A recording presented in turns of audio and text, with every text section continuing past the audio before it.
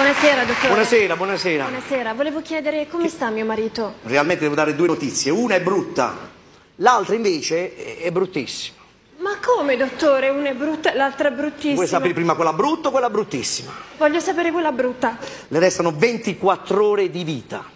E qual è quella bruttissima allora? È che questo fatto glielo devo dire ieri, signora.